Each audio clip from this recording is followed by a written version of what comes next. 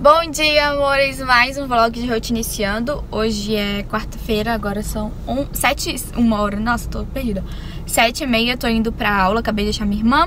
Hoje eu tenho aula do morfo e depois tenho aula de terapêuticas. Vocês vão acompanhando o dia comigo. Eu aqui na faculdade, queria tomar café da manhã porque eu tô morrendo de fome, mas tá no horário certinho já da aula, então vou ter que subir. É porque eu peguei um trânsito meio chatinho e assim, eu saí 10 minutos de casa mais tarde. Se eu sair 10 minutos mais tarde do horário que tô acostumada, eu demoro, tipo assim, meia hora a mais. Então, não dá. Mas enfim, tô indo lá pra aula do morfo. Tô saindo aqui da aula, a gente teve aula do morfo e aí depois teve terapêutico, só que terapêutico a gente tá saindo agora 11h15 porque faltou energia. Aí a gente fez metade da aula, outra metade ficou pra semana que vem, porque tava sem condições, tava muito escuro. Ninguém tava conseguindo se concentrar, sabe, no escuro e fazer as questões. Então tô indo pra casa, chegar lá e falar com vocês. Eu queria passar no, no banco, mas é, não vai dar tempo, porque minha mãe tem que ir. Ela vai pegar do carro pra fazer o negócio. Só passar aqui na catraca. Mas aí ela vai precisar do, ca do carro, então eu vou pra casa. Ué, o que que não tá? Erro de leitura. Repita a operação. Não sei porque que tá dando erro de leitura essa máquina. Como fazer dieta com isso? Tem uma visita aqui em casa, a Beth, ela faz bolo, aí ela fez esses dois. Esse aqui é pra célula à noite e esse aqui é pra gente. Mas olha isso, gente. Ele é tipo vulcão. Metade do vulcão dele é brigadeiro e a outra metade é o morango. E tem alguém pedindo aqui. Você tá pedindo o, bolo, meu filho? Ele, ele já sabe quando senta aqui na mesa, a comida. Aí ele vem pedir. Então, eu já almocei, tô aqui em casa.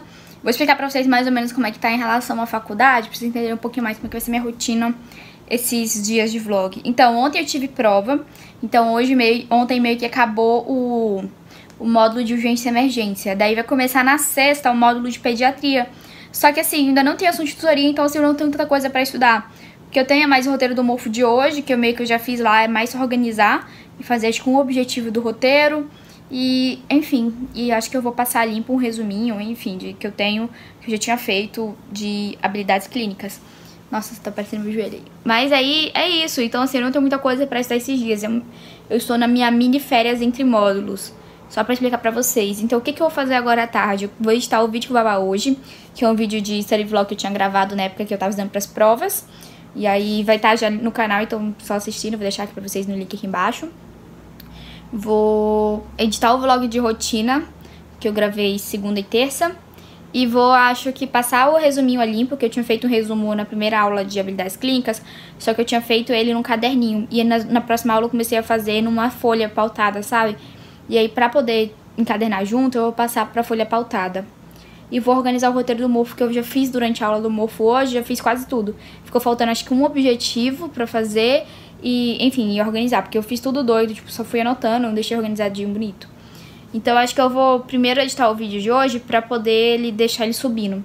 E aí depois eu vou fazer essas coisinhas em relação a resumo, passar limpo e coisa.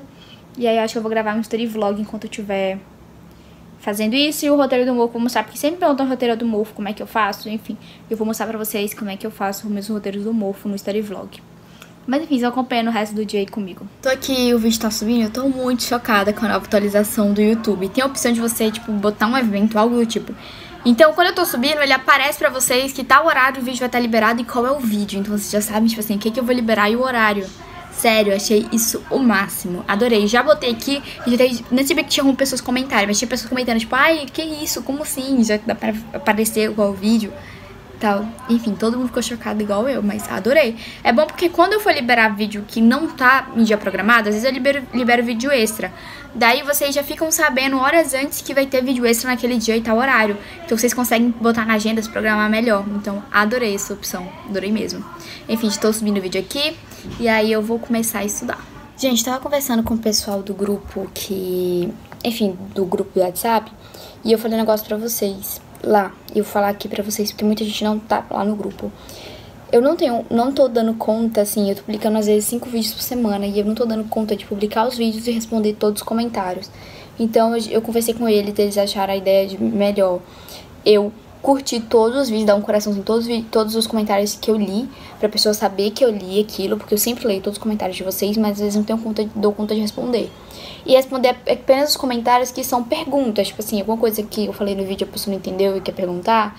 Enfim, então eu vou fazer desse jeito. Então não fiquem chateados se eu não responder seu comentário. Eu vou responder aqueles que são perguntas, mas todos que eu ver eu vou dar o meu gostei lá, o meu coraçãozinho pra vocês saberem que eu vi, que eu gostei do comentário, tá bom?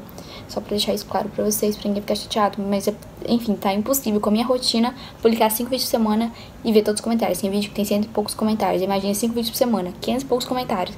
Vou perder umas, no mínimo umas 5 horas respondendo tudo isso. Então, assim, não tem condições. Bom dia, amores. Acabei de chegar aqui na faculdade, agora eu tô dando já horas. Mas vou aproveitar esse tempinho pra tomar café da manhã, que eu não tomei em casa. E acho que vai dar tempo, porque ainda falta 5 minutos e geralmente os professores atrasam um pouquinho essa aula. Agora é aula de habilidades clínicas. Eu não sei se vai ser de novo um tipo meio simulado de, de restrição cardiopulmonar. Vamos ver.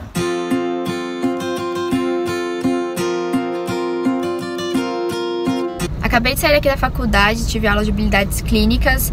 Foi primeiro uma aula teórica de ressuscitação cardiopulmonar na criança, depois a gente treinou a ressuscitação cardiopulmonar na criança e aproveitamos para treinar também no adulto, só para revisar, porque a gente tinha treinado antes. Agora acho que eu vou no shopping, porque eu tenho que ir no banco e eu quero ir na livraria comprar a caneta Duo da Faber, mas aí eu mostro pra vocês. Tô aqui na leitura do shopping, comprando a caneta Duo da Faber, com indicação da Fabi, que ela sempre fala que é boa pra fazer lettering, então vou comprar pra testar. Só que não é barato não, gente. Tá 40 reais de 24 cores, são duas canetinhas. E eu tô dando uma volta olhando aqui porque não resisto a coisa de papelaria. Pronto, já resolvi tudo que eu tinha resolver, já fui no banco, já fui na, na leitura comprar as canetinhas do da Faber. Agora vou só pagar o estacionamento aqui do shopping e já ir pra casa. Já em casa eu quero dar uma estudada antes de ir pro. antes de almoçar e antes de ir pro Misco. Oi, filho.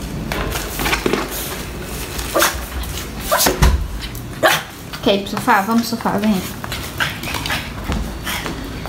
Oi, amor.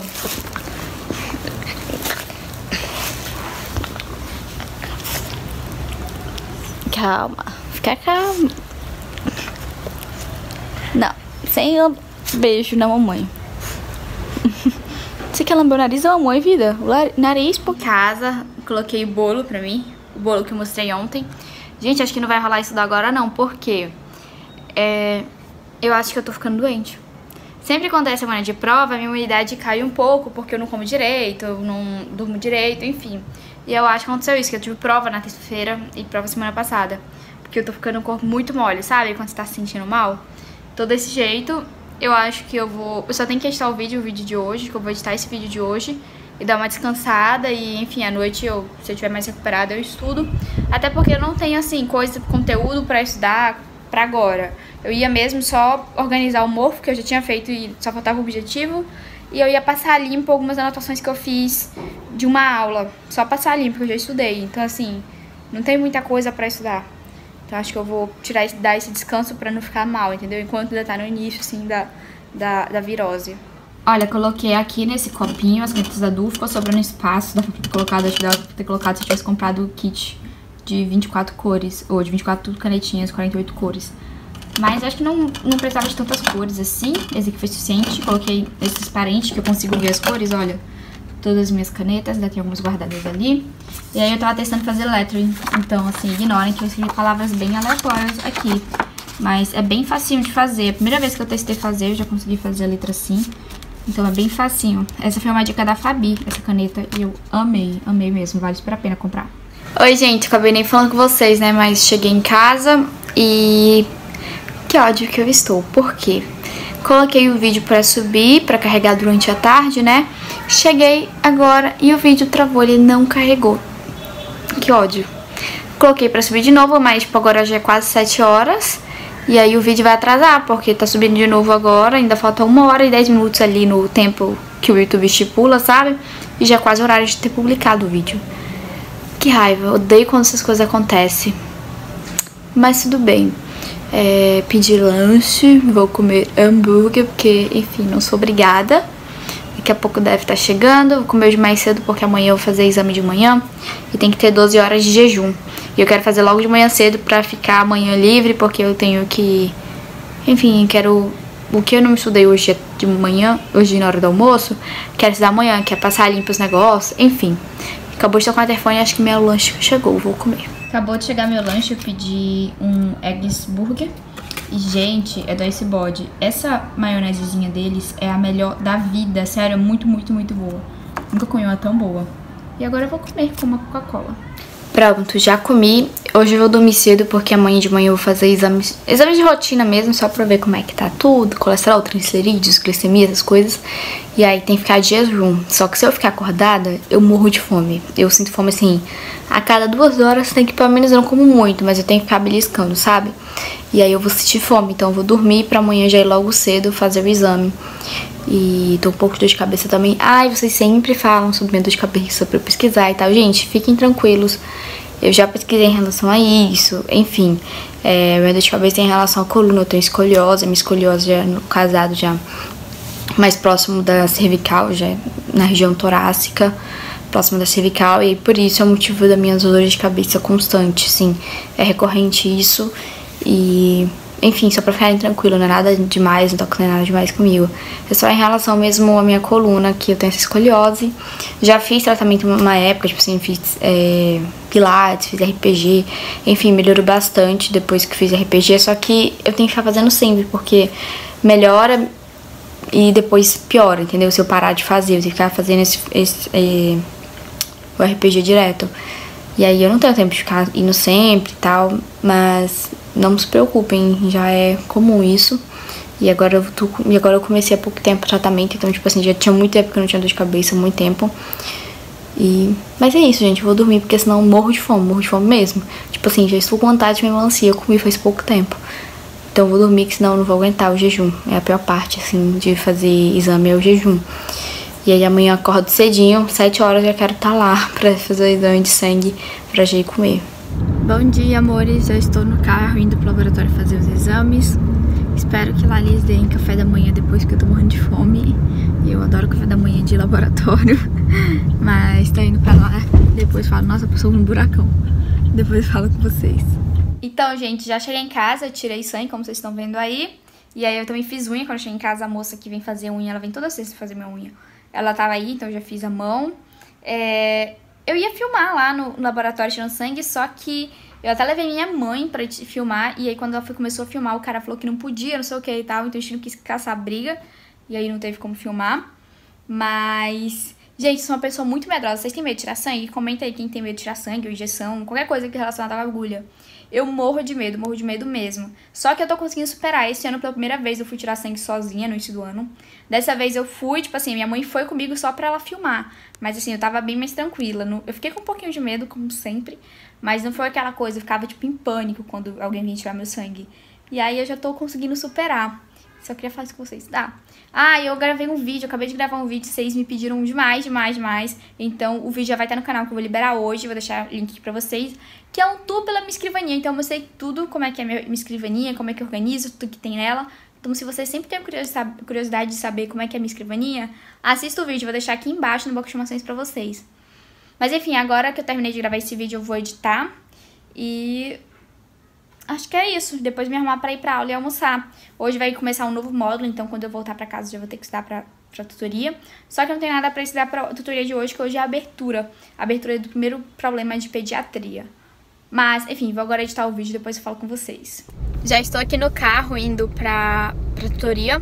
Nem mostrei pra vocês porque gravei o vídeo, daí fui editar e terminei na correria. Nem sei se eu consegui liberar o vídeo hoje porque ele ficou renderizando.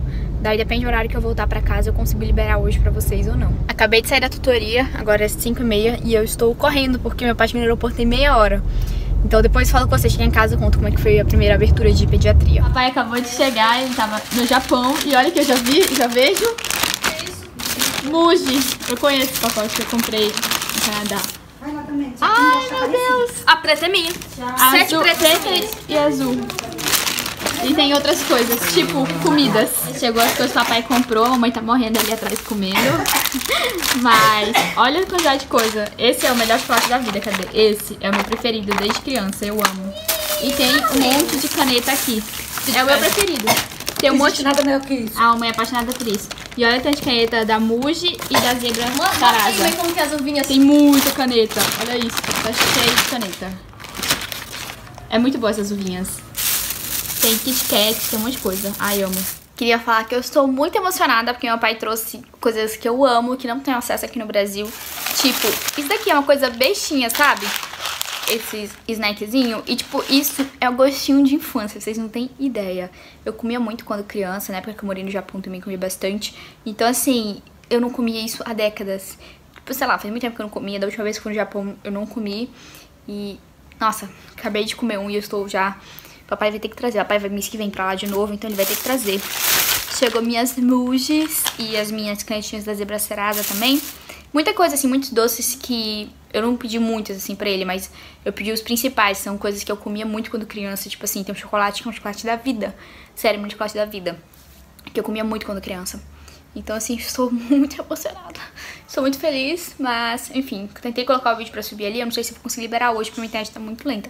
E aí eu cheguei, fiquei tão empolgada com as coisas, que assim que eu tinha que chegar e direto botar o vídeo pra subir. Mas tudo bem, vou... Daqui a pouco eu volto aqui pra falar pra vocês quais são os assuntos que eu tenho que estudar. Que agora a gente vai se pra jantar, eu acho. Porque é isso, depois eu volto pra, pra, pra falar com vocês assuntos da tutoria, como é que foi a tutoria, essas coisas. Vim aqui com a minha família jantar no restaurante japonês. Pediu de sempre, né? Temaki de salmão, sempre peço. Acabei de chegar em casa. É, antes de encerrar o vlog pra vocês, eu vou falar um pouquinho como é que foi a tutoria, qual é o assunto que eu vou estudar esse final de semana, essas coisas que sei que vocês gostam bastante. Então, a tutoria hoje foi o primeiro problema do módulo de pediatria, foi só a abertura. E foi bem tranquila, enfim, discutiu, tinha bastante conhecimento prévio, então foi bem legal que durante a discussão eu lembrei de muita coisa, porque eu já tive pediatria antes. Já tive, essa é a segunda vez que eu tô entrando pediatria na tutoria. Então, assim, eu lembrei de bastante coisa. Foi legal. Mas, enfim, vou mostrar agora pra vocês o problema. E ele sempre dá um caderninho, assim, vou mostrar pra vocês o que, que tem nesse caderninho. Então, esse é o caderninho, é um manual que eles dão. Cada módulo tem esse manual. Deixa eu mostrar pra vocês o que que tem. Tá, aqui tem uma apresentação sobre o módulo e aqui são os horários. Então, grifei aqui os horários das minhas aulas. Aqui é quando que vai ter abertura, fechamento, prova, enfim. Então, também grifei. E sempre coloco essa árvore temática, que tem os principais temas que a gente vai estudar. Que no caso é síndrome anêmica, síndrome febril, respiratória, distúrbios metabólicos, síndrome diarreica, síndrome ictérica e vitalidade e maturidade. Esses são os principais assuntos. Dentro deles tem outros tópicos. Então por isso que tem essa árvore. árvore. Ah, aqui eu não falei pra vocês, mas aqui são os objetivos. Então tem todos os objetivos do módulo. São muito, é muita coisa. Exemplo, esse é desse problema. Reconhecer as condições do pré-natal, parto, pós-parto que interferem no bebê, na unidade mãe-bebê e na família, identificando e caracterizando afecções mais frequentes deste período de vida, com ênfase para a prematuridade e suas consequências, infecções congênitas, as toches e HIV, suas principais complicações, icterícia neonatal e suas principais causas e consequências, os distúrbios é, respiratórios recém-nascido. Então, esse aqui é um dos que vai ser esse problema. Então, tem vários objetivos aqui, como vocês podem ver. Todos esses objetivos vão ser abordados durante cada tutoria. São cinco tutorias esse módulo. Aqui é um espaço para gente anotar os objetivos e aqui eles colocam a bibliografia e quais são os temas das palestras. Então é basicamente esse caderninho que sempre dá o início de cada módulo. E esse aqui foi o problema que eles deram pra gente. Então, ele, o problema sempre vem dobrado de um modo que a gente só vê a princípio a identificação que é principal. E conforme for discutir, a gente vai abrindo. Então, era um, era um recém-nascido, sexo masculino de 48 horas de vida, com desconforto respiratório e infecção congênita. Tem todo o caso. Então, agora eu vou falar os, ob os objetivos, que é o que a gente tem que estudar em casa nesse final de semana para o fechamento. Vou falar de modo geral os, os, principais objetivos, porque dentro de cada coisa tem muitos critérios. Por exemplo, é, desconforto respiratório para a gente estudar no recém-nascido. E aí tem muitas coisas dentro de desconforto respiratório. Tem as principais causas de desconforto respiratório no, é, no recém-nascido, como tratar, abordagem inicial. Então, cada um dos objetivos que eu vou falar pra vocês tem muita coisa dentro. Mas eu não vou detalhar tanto pra vocês, que eu acho que não vai ser tão interessante. É, além do desconforto respiratório, tem a parte de infecções congênitas, são todas as principais infecções congênitas. Tem a parte de icterícia, icterícia neonatal. Aí tem também abordagem, é, o atendimento inicial do recém-nascido na sala de parto, tanto para o recém-nascido normal quanto o recém-nascido de uma mãe portadora de HIV, como é que é todo o processo. E tem aquelas coisas basiconas, tipo prematuridade, quais são os fatores de risco para um bebê ser prematuro, quais são as principais complicações de bebê prematuro, enfim, tudo sobre prematuridade e aquelas principais classificações de tipo, pediatria mesmo, sabe? Tipo, ah, se bebê é pré-termo, pós-termo, a termo, se ele é pig ou gig, é, essas coisas assim, bem tranquilas de pediatria. Mas é isso, gente. Espero muito que vocês tenham gostado do vídeo. Se vocês gostaram, não esquece de clicar no gostei. Se é novo no canal, deixa de se inscrever aqui embaixo pra não perder mais nenhum vídeo. Um beijo e tchau, tchau.